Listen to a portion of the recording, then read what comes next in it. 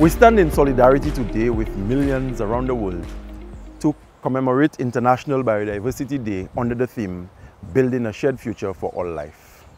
As the world eagerly awaits the adoption of the post-2020 Global Biodiversity Framework, this theme emphasizes the need for urgent action to achieve a vision, which is a world living in harmony with nature by 2050, where biodiversity is valued, conserved, restored and wisely used by maintaining ecosystem services, sustaining a healthy planet and delivering benefits essential for all people. Biodiversity plays an integral role in our lives including the provision of material goods like food, fodder and fiber, ecosystem services through flood control, nutrient cycling and climate regulations, and non-material benefits like recreation. Other benefits of biodiversity include its contribution to agriculture through pollination and pest control, carbon storage and sequestration, and its positive effects on human, physical, and mental health. St. Lucia has a rich source of biodiversity, and efforts must be continued in maintaining and, where possible, enhancing our rich biodiversity stock.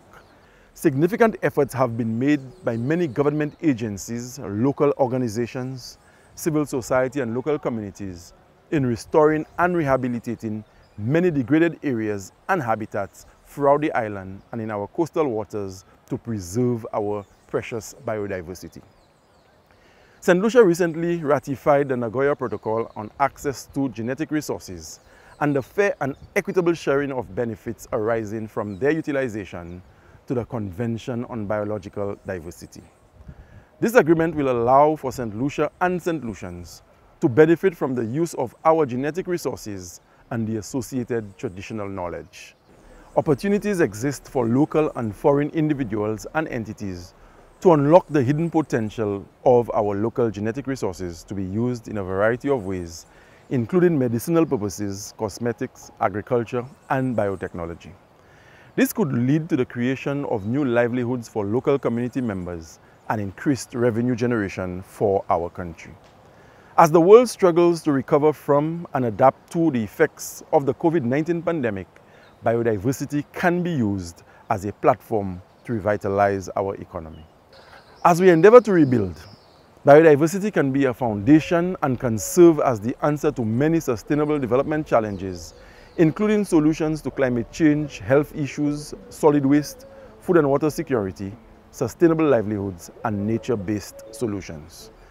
This is an opportune time to not only reevaluate the abundant resources nature provides and how they supply our basic needs for food, good health, and survival, but also a time to consider the threats posed to biodiversity. Before taking action to address these threats, we must first understand the issue so we can determine feasible and sustainable solutions. As we celebrate today, let us remember the important role that biodiversity plays in our lives. Let us continue to conserve and protect our biodiversity to ensure that our citizens can access the benefits from the utilization of our natural resources now and for generations to come. Fellow citizens, we need to join in building a shared future for all life.